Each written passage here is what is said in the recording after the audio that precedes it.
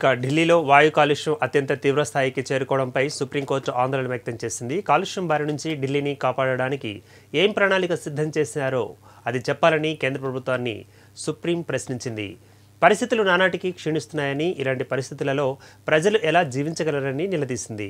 పరిస్థితి చాలా సీరియస్గా ఉందంటూ ఆందోళన వ్యక్తం చేసింది. ఇక ఢిల్లీలో వాయు కాలుష్యంపై ఆదిత్య దుబే అనే పదిహేడేళ్ళ విద్యార్థి దాఖలు చేసిన పిటిషన్పై ప్రధాన న్యాయమూర్తి justice NV Ramana justice Chandrachud వీరితో పాటుగా జస్టిస్ సూర్యకాంత్తో కూడిన బెంచ్ విచారణ జరిపింది.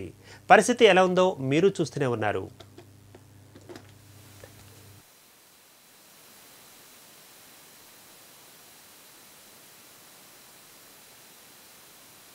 గాలి నాణ్యత తగ్గిపోతూ ఉండడంతో ఇళ్ళలో కూడా మేము మాస్కులు ధరించాల్సి వస్తుంది అని విచారణ సందర్భంగా జస్టిస్ ఎన్వి రమణ వ్యాఖ్యానించారు. ఢిల్లీలో రెండు రోజుల పాటు లాక్డౌన్ విధించే అంశాన్ని పరిడించాలని పరిశీలించాలని కేంద్రాన్ని ఆయన ఆదేశించారు.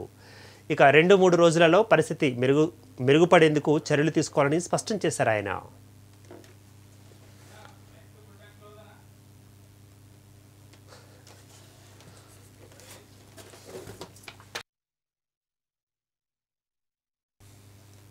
ఇక ఇవి ఈ బులెటిన్ అప్డేట్స్ మరిన్ని అప్డేట్స్ కోసం keep watching master TV